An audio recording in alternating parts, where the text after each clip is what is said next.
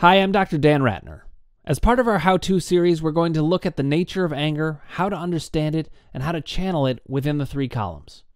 If you haven't already, click subscribe, ring the bell for notifications, hit like if you like what you're hearing, and put your comments below, and I'll get back to you personally. So many of you have already read Sarno. It's a big part of the basis of the work that we do and what we know. And as many of you know from that, anger can play a crucial role in getting better from mind body symptoms. He talked about something called the reservoir of rage. Um, and it's a key concept to think of the difference between rage and anger. Everybody has both, actually, but it's really a, about degrees, degrees of intensity. Rage is when anger gets so so big that the primitive feelings we have feel more threatening. That's a big part of rage. But to get better, we need to be more comfortable with rage, especially, but anger in general. And I'm going to talk about why we tend to not be as comfortable with that and how it plays out. I did want to talk about this idea of the reservoir of rage, though, that Sarno talked about, because it took me a while to understand two different ramifications of it that he doesn't outline that way. Um, the way he talked about it, it it felt confusing to me a little bit, and that's not a criticism of him, but it's these are complicated pieces of information. But he seemed to be talking about it in one way where just enough buildup of anger could get you to the point where symptoms could happen, and I think that is part of what he was saying. But it also is the case, at least I have found, that one particular issue can get you there all by itself. And so it's important to know that it can be one thing and it can be multiple things. As I talked about last week in the contradictions video, it can be more than more than one type of thing and you need to know which applies when. So sometimes you need to look for a buildup of anger and sometimes you need to look for a specific symptom. But despite all the talk about anger in the mind body world, what we do with this isn't isn't well explained a lot of the time. So I thought that I would see if I could correct that some. Many are left with the feeling that once we discover, okay, we're supposed to be angry, they think we're supposed to be angry. But what if I'm not? Or what if I'm not aware of it? Or what if I don't recognize it? Or what if I'm angry, but I don't know what to do with it? I've had all kinds of questions about this. Some people ask the question, well, okay, am I supposed to stay angry? Or do I talk about it? Do I forgive? Do I hold on? Am I supposed to be able to let it go? Does it just need to be understood? Sh- should I take action to alleviate it? You hear all the questions that can come up. And that's the reason I'm doing this video is because I feel that it's not really well explained what to do about anger. So let's talk about anger as it relates to the columns. So, of course, anger is in the emotions column. This is probably pretty obvious to most of you. Anger is an emotion and it's going to affect things. It can be both in you and from others that can lead to emotional pain flare ups. But it can also lead to doubt. Um, the reason it can lead to doubt is that we can doubt whether we should be angry. It just brings up questions. Uh, should I be angry? There's too many questions. You just heard them. What do I do with it?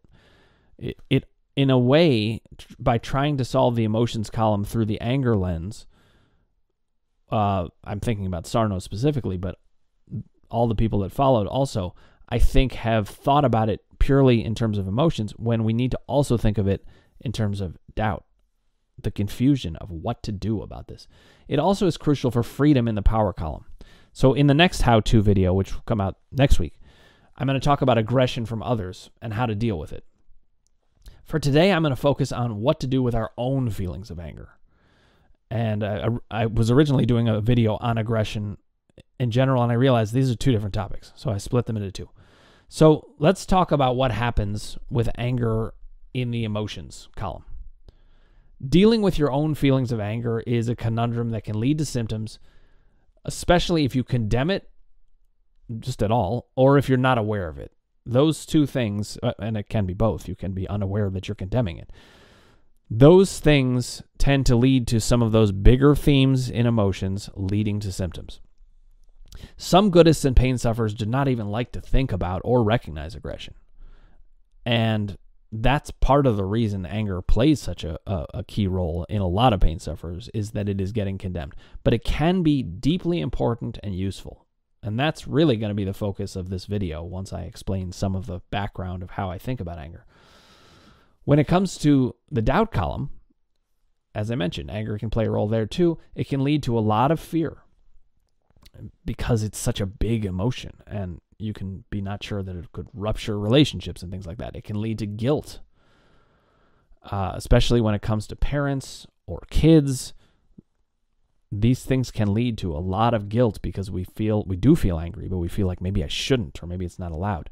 And it can even lead to just doubt in general, like I said, about what do I do about this. So the doubt can can also be about ourselves and our basic goodness. Or it can be about the worry that being clear on things and not having doubt may make someone else upset. So the worries about anger can play a role in whether we are able to resolve doubt. And we will get into that more. In the power column, I would say that anger while it's very important in the emotions column, it's especially important in the power column. I think it's the most key in the power column, and I will explain why. Uh, first, let me say a couple things, and then we'll get to how to use it in the power column, and that's when you're going to see why it's so important. So, within the power column, we naturally have the question is it safe to be angry? Usually, what happens from a very early age is as kids, we get angry and you know, the grown-ups that were around don't like it or other kids don't like it. So they, they kind of push that away and we get the message it's bad. In the power column, we can have the feeling if I'm if I'm angry, you know, is that going to get in the way of things and and that will bring down power in in our, you know, worries about it. But there's also the other side. If I become powerful, will anyone be angry with me? So anger and power really relate to each other quite a bit. Let's talk about what is important to understand about anger. These are just some general concepts about anger that are important to keep in mind when you're thinking about it. First of all, we need to remember that a lot of anger tends to be unconscious because society is so condemning of it. And it gets channeled in certain ways. And I'm finding that as I look at it, there's plenty of anger to go around in society. We see it all the time but it's getting channeled only in certain directions and it doesn't tend to get channeled in ways that relate to our personal feelings about ourselves. Instead, it usually gets channeled into righteous causes. Um, and we can feel righteous on either side of an argument. This is why politics are so awful for so many because we it's that's where anger is sanctioned, but it's not sanctioned in most places. So it all gets channeled into there. We're going to talk a little bit more about how to channel your personal anger in the ways that work. Anger, though, can be with yourself, it can be with others, it can be with the universe, a feeling that the universe is unfair, with circumstances, or it can be with your symptoms. Of course, those of you suffering out there, we all get angry at our symptoms. I'm not angry at my symptoms anymore because now I'm past enough of it that I've gotten enough relief that I'm not so angry at them. But I also now can see it as a communication, and that helps. Most people spend the most time with anger being actually unconsciously angry with themselves. Sometimes consciously so, but a lot of times there's a lot of unconscious anger at the self. But because we don't want to feel so bad, anger often gets taken out on other people because of conscious anger. We find a conscious anger point and we latch onto that and take that unconscious emotion and go there. Anger is also very, very uncomfortable for a lot of people. So much so that they will not only keep themselves from being angry but they'll try to keep others from being angry. I'm sure that many of you have experienced this when you have let anger out. People then get very condemning of you for being angry. And that is usually because they are condemning it in themselves. Anger is the number one most condemned emotion. It's not even close. Uh, well, actually, I would say there there's some closeness because um, sexual attraction also has elements where people can be very condemning of it. But even so, I would say it is not nearly as condemned as anger. People tend to judge anger all the time because they judge it in themselves. Another thing to know about anger is that this will sound very obvious when you hear it, but it's a good way of thinking about it. Anger can lead to separation. And that's why it feels so dangerous. We, we often really don't know what to do about it. So we're going to get into now what to do with anger. But I do want to say one thing anger can also be a way of being in your own corner. If it's if it's channeled the right way, it's a form of self empathy. Because being angry is basically saying, I don't like what happened to me. That's not okay. I'm going to do something about it. Or maybe I'm going to back myself up. So anger has its important uses. We're going to talk about that. So, what do we do with anger so we can reduce our symptoms or use it well? Well, the beauty of mind body thinking with respect to anger is that we only need to know about it, not necessarily do something about it. Just knowing about it in terms of getting rid of symptoms is often all we need to do. But I want to go a little bit further than uh, what Sarno said about it because I don't think that people are getting enough guidance in how to know about it. Knowing about it is the key, but we need to know about it in the form that I build for the emotions column. If you haven't seen those videos, I would go back and and find the videos on how I articulate emotional themes. But I'll sum it up for you now. It's broad topics, really big topics, high stakes issues, but it also has to be specific to to the form of your life. Sarno talked about the broad topics. He talked about the high stakes issues. But of course, because he can't talk about an individual mind, he didn't talk about the specific form in your life. Even so, I think you need to know getting specific is a key part of being able to know your anger well enough to actually reduce the symptoms. These this is emotions column work. Here's an example. Um, I could say, I'm making this up, but I'm I'm angry that this teacher, let's say, didn't recognize my contributions because I wasn't recognized as a kid, and this makes me feel doomed to repeated disappointment and rage. I did actually have everybody's had this experience, but um, I had a lot of teachers totally recognize me. But you can hear that in this example, it's very specific to what's happening in my life, but it is linked to those broad, high stakes themes feeling doomed to repeat disappointment and rage because I wasn't recognized as a kid. Those are big, big topics, but it's attached to a specific thing. So that's one way that I differ from Sarno uh, in this regard, is that I'm getting a little more specific about what it is you need to know. Another way that I differ from Sarno is that I not only think we must know about the anger to affect the emotional discharge of the symptoms, but I also feel that anger can be a very, very powerful tool to help you. Accepting our own aggression as having a good part to it is incredibly important. So, anger isn't just this conundrum that we have to struggle with. It is also something where, if we can accept it and we can see that there are good parts to it, and I'm going to show you how that works, then there's something we can do about it that's totally different. And that relates to the power column. So, one way I think about things is that everyone's world is a question of aggression and what to do. In a way, a lot of things boil down to that. There was a therapist uh, and theorist in psychology, Donald Winnicott, who happens to be my favorite of the theorists uh, from the old guard, and he talked about the the phrase "I am" as being the most aggressive statement one can make. It's like you're saying "I matter," and so aggression is a way, and anger. These are ways of being in our own corner. It's necessary. If we don't have aggression, the world makes all the choices for us. So that's the thing. You can use anger and aggression and channel it the right way. So now let's get to the fact that channeling aggression is a very important action step. When I talk about action steps, we, we go to each column and then we talk about what, what do we do. So channeling aggression is an action step that you can actually use in all three columns. And I just need to talk now about how to do it. So, for one thing, if you're going to channel aggression in the right way in the world, you need to watch out for the aggression of other people. Now, that is what I'm going to talk about in the video next week on the how to. How, how do you watch out for aggression from others? How do we even recognize it? Because it comes in so many different forms. And then what do we do with that aggression from the outside? But for now, we're sticking with how to channel our own aggression, things we know about ourselves, to bring to the outside world and to our, our internal world in ways that work. Again, I'll talk about this more next week, but to keep the aggression of others off of ourselves, we need to be able to recognize it, or it ends up getting dumped on us.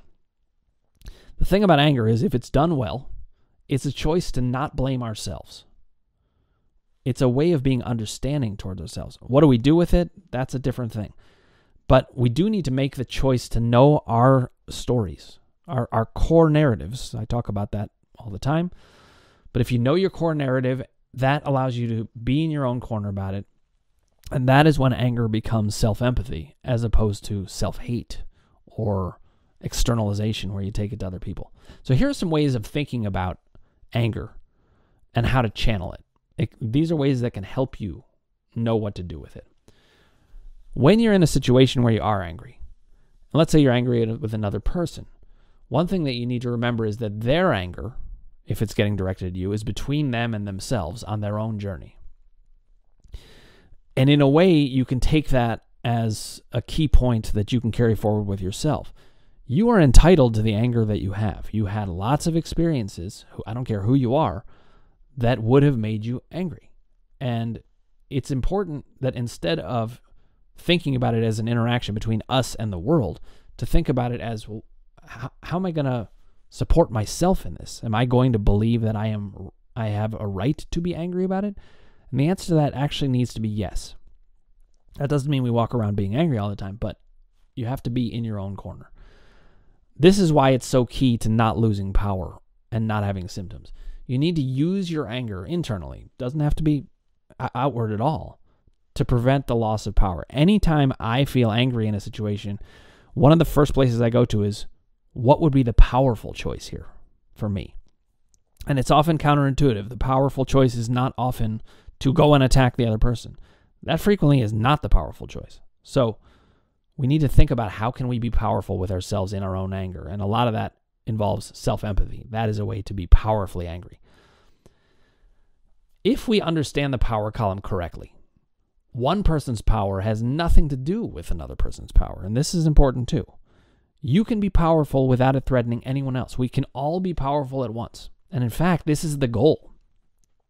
If I'm doing a good job conveying these mind body issues and how we should live with them, the goal would be for everybody to be powerful. It's not just about me being powerful, it's about you being powerful and your friend being powerful and your family members being powerful. But we're all on a journey ourselves. And so we need to work towards that power within ourselves. Here's another another way of thinking that's really important about anger. You need to remember that the stronger you are, the more likely you are to be attacked. I have thought this for years, um, but you know I have found it to be more and more the case. I've learned more about it in in recent years as well, and the people I connect with the most deeply understand this. So in a way, you could take a kind of weird pleasure in attacks because it is evidence of your strength. They wouldn't be attacking you if you weren't strong. So you need to remember to enjoy your strength. That's another way of thinking about the anger that roots you in a good experience with yourself. When you stand firmly with you in your own corner, the attacks actually will lessen. It's a very weird thing, but I have found it to be the case. The stronger I feel within myself, not not the stronger I convey myself to the outside world, but the stronger I feel inside myself, the more people sense that I'm at peace and they can't move me off my power, and so they don't bother to attack. Another way of thinking about things that I think is really important is uh, I talk about this a lot in the power column the juxtaposition of power and goodism. The goal is really to be both. You, you can use anger to become powerful and you use that power for good. So these things all align. Anger is not the enemy here, it can be brought in for powerful usage. This is a huge part of resolving power and goodism. I want you to be both. I, think the goodists of the world make a big difference in the world, and, and I want more of them. And I want I don't want anybody who is a goodist to think, oh, I have to stop being good to get better. That's not true. You just have to channel anger the right way. To stay powerful within yourself, you need that self empathy. And so I was going to say you need self empathy, not anger. But what I mean by that is you need self empathy, not anger with yourself. Anger can be a form of self empathy. So, one of the ways that we can go about things to channel aggression and anger the right way, and this goes back to the black and white uh, video that I did a couple weeks back, you can use temporary black and white thinking to keep the anger off yourself and be fiercely in your own corner. Be really rooted in your story and what made you mad and what was not okay. If we can do that, we can use aggression as fuel. We take our core narrative, we use the anger to make sure we achieve our goal of how we want to live. And it doesn't have to be at odds with other people. It's just a way of being powerful within ourselves. That's how to use anger. So don't let anyone have power over your core self and how you feel. Uh, you don't have to get caught up in does anyone have power over me in any way, but if it's affecting your core self, you need to think about how do I restore things within myself. The actions don't matter, but your feelings on the matter do. Those are the ones that matter. So here's the way that I use aggression. I like I mean I'm going to talk about this in the video next week about the difference between direct anger and passive aggression. That that's an important thing. But I think the best way to use anger powerfully is to feel if you can feel confident within yourself and at peace, you will be able to be direct but kind when possible. Because the powerful stance is when you recognize that other people's aggression can't do anything to you. It's between them and themselves, and you have your own journey. So you locate their aggression in them and you leave it there. Within you, you choose power. You use the anger for productive and constructive things. You think about, okay, what what do I do with this? What am I going to do about it in me to make my life better? And in that way, anger's fuel and its energy. So I wanted to lay that out there as ways to understand anger and ways to use it because I don't think it's getting talked enough in the literature. So talked enough about in the literature. So these are great ways to think about things, and I'd love to have more conversations with all of you. If you haven't already, click subscribe, ring the bell for notifications, hit like if you like what you're hearing, and put your comments below, and I will get back to you personally. Thanks so much for watching and listening.